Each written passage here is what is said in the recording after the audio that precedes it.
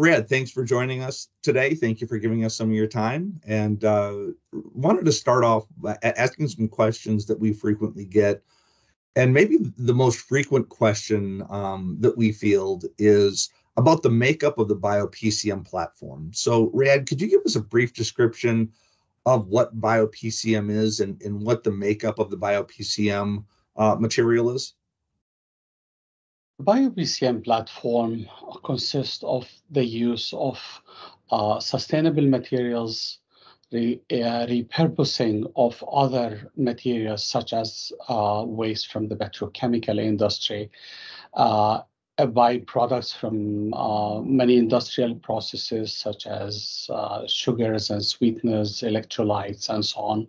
So in general, the platform uh, can uh, include a wide range of ingredients from either virgin materials that such as uh, vegetable oils or their derivatives or byproducts from them, but also the, uh, as we all know, uh, there are a lot of wastes can, that are generated from the petrochemical industries.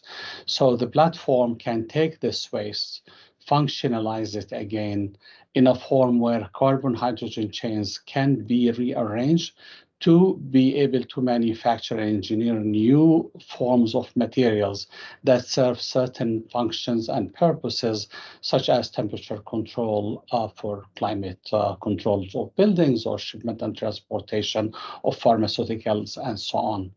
But in general, I mean, when you talk about the BioPCM platform, the BioPCM is a class of material that can be provided or engineered uh, to cover temperature controls control applications ranging from minus 75 degrees Celsius to plus 175 degrees C.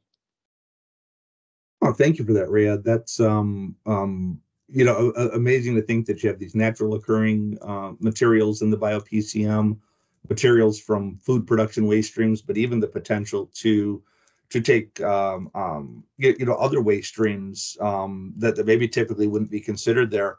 You know, there's several options for companies out there that are looking to to use phase change materials to make phase change materials part of their their solution. Um, you described a little bit about what makes BioPCM different. Um, can you talk a little bit more about what makes it a better option than salt hydrates, paraffins, and, and some of the other PCM platforms in the world today? So, since we uh, the the emphasis these days for every organization is decarbonization, so by default, choosing materials or uh, solutions that are based on sustainable materials is always a good choice. So the fact that BioPCMs can be derived from uh, uh, either uh, vegetable oils or byproduct from the vegetable oil industry allow us to uh, engineer materials that can meet our requirements for temperature control without having to take anything from the uh, petroleum-based industry.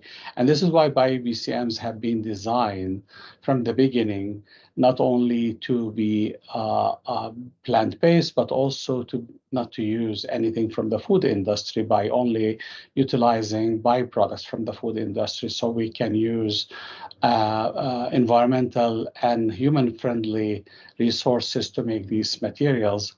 And when you design phase change materials in general, so there are a few criteria that you have to keep in mind. One of them, of course, is the energy density, in addition, of course, to the first criteria, which is the sustainability uh, uh, point.